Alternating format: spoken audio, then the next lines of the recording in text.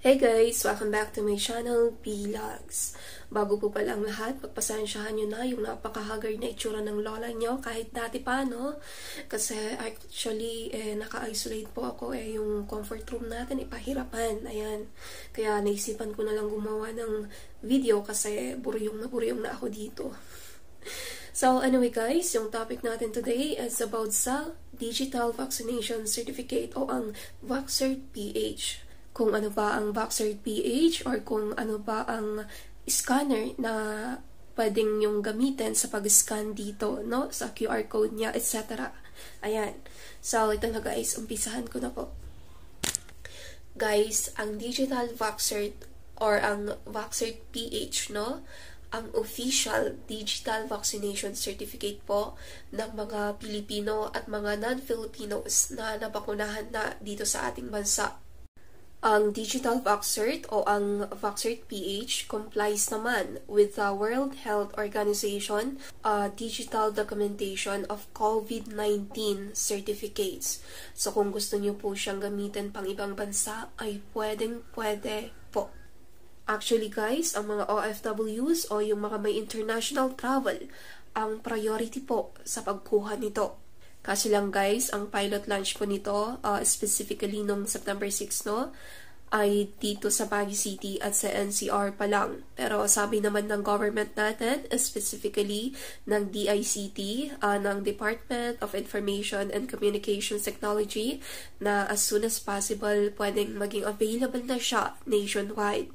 Actually, ngayon po is uh, may mga naidagdag na rin pong mga ibang lugar aside from Baguio at ng NCR. So, yun guys, alamin nyo kung baka available na dyan sa inyo pong mga lugar. So guys, pwede po kayong makakuha ng Digital Vax Cert online or through LGU assistance. Ayan. So, pwede po kayong magpatulong sa LGU nyo po. Pero guys, tandaan nyo lang ha, na after 48 hours ng final final dose nyo po kayo uh, mag-request para available na yung data nyo. Pero just in case na after 48 hours ay eh, hindi pa available, pwede rin naman kayong mag-request online or pumunta na lang po kayo sa LGU nyo po para mas matulungan po kayo. So guys, just in case sinubukan yung i-generate ang data nyo online no sa website nila, eh ganito po yung sinasabi, no vaccination record found. Pero tama naman yung mga information na nilagay nyo, e i-click nyo na lang po ang continue. So guys, pag uh, clinic nyo na yon ito po yung sabi dito. The details of your vaccination record may have been incorrectly registered or have not yet been updated in our system. Please provide the following details so we can assist you in uploading your record. Ayan guys, yun yung sabi dito. So, pag ganun, i-upload nyo lang po yung uh, vaccination record nyo or vaccination card, I should say. Tapos mag-upload ng government-issued ID. Fill upan lang din po yung mga information na kailangan dyan. Tapos, uh, pwede nyo nang i-submit request. Ayan guys. Pero guys, uh, just in case na after 2 to 3 days eh wala pang update sa request mo o di kaya eh, just in case lang na may problema ka sa pag-generate ng uh, Vaxcert mo online, no? Mas magandang magpatulong na lang po kayo sa LGU nyo po. Kasi actually guys, nakadepende din lang naman po yung mga records sa system sa LGU po natin. Yan, so kung ano man po ang maging problema nyo, magpa-assist po kayo sa LGU nyo po. At saka pala guys, just in case na wala kayong internet connection, pwedeng sa LGU na rin lang po. Pero ulitin ko lang guys ha, uh, dapat po fully vaccinated na kayo at dapat at least 48 hours after your final dose po kayo mag-request ng Vaxcert niyo po. Okay? So, ito na guys, no? Baka may nagtatanong dyan na may yellow card naman eh. Yung yellow card eh pang international yon Sigurado ka ba na okay yung uh, Vaxcert na yan. Baka yun yung sabi ng iba, no? So, ulitin ko lang yung sinabi ko kanina, guys, no? Ang Vaxcert PH po complies with the World Health Organization digital documentation of COVID-19 certificates. So, pwedeng-pwede po siya maggamit internationally. Okay?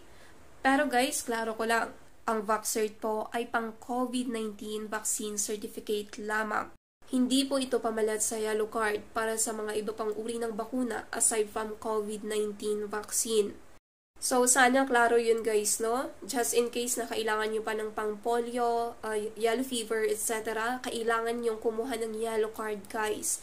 Pero just in case na pang COVID-19 vaccine certificate lamang ang kailangan nyo, ang digital vax po ay pwede na.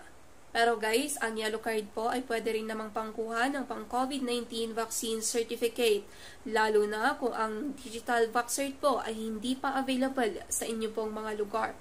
Okay? Guys, dagdag ko lang pala, no, kasi baka may sumusubok din na gumamit ng QR code scanners, no, sa Vaxcert certificate nila. Guys, hindi po pwede makabasa ang mga QR code scanners. Ang scanner lang po ng Vaxcert uh, PH ang pwedeng makabasa sa QR code ng Vaxcert nyo. Okay?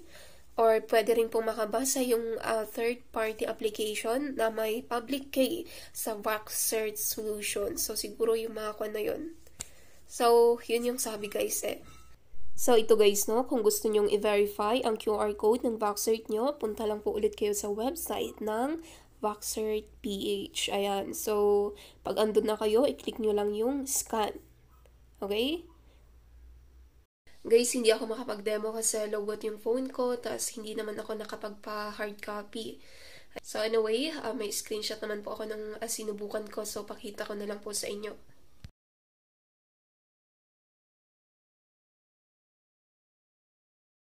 Guys, just in case na may katanungan pa kayo, mag-comment lang po kayo below, no? At uh, subukan ko po yan sagutin kung alam ko. Ayan. Pero bago ko end yung video ko guys, no, mag-explain na ako sa buhok ko. Kakaligo lang, kakaligo ko lang po, hindi yan mantika.